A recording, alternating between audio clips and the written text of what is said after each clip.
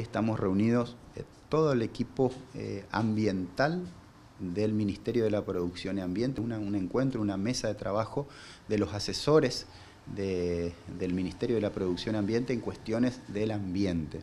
Se está trabajando en la revisión del ordenamiento territorial de la provincia de Formosa, el POT-FOR. Es, eh, es la primer provincia de la Argentina que ya está trabajando en su segunda revisión porque lo establece la ley de ordenamiento territorial a nivel nacional y a nivel provincial, que cada cuatro años el ordenamiento territorial debe ser revisado.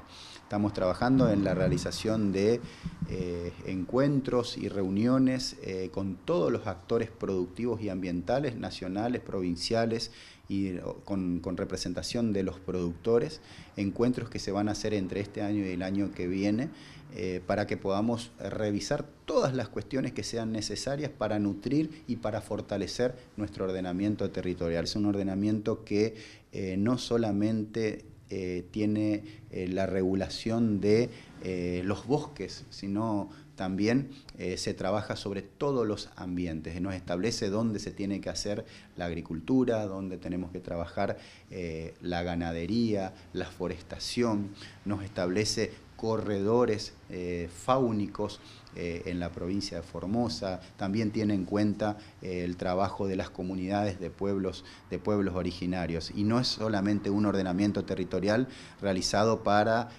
los cambios de uso de suelo, las habilitaciones de nuestros montes, sino también cuida nuestros recursos naturales. Ahora lo que viene es empezar a establecer las acciones correspondientes al nuevo proceso participativo que vamos a convocar para la construcción de esa revisión de la ley que va a concretarse en una nueva ley, eh, para lo cual se requiere mucho trabajo técnico y además científico, porque en realidad se trabaja con documentos técnicos y científicos muy importantes a partir los aportes, comentarios, eh, cuestionamientos, lo que fuera, que surge de estos procesos participativos. ¿Quiénes son los actores que participan de todos esos procesos?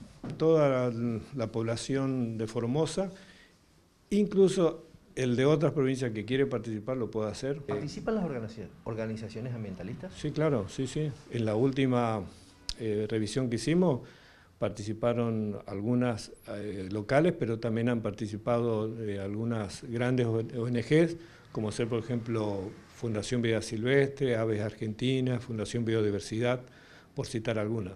Paradójicamente, las que más nos critican nunca han aparecido, concretamente me refiero a la agrupación Greenpeace, eh, ellos nunca participaron de estos procesos. Sí, por supuesto, claro que sí. Sí, sí, esto está abierto a todos.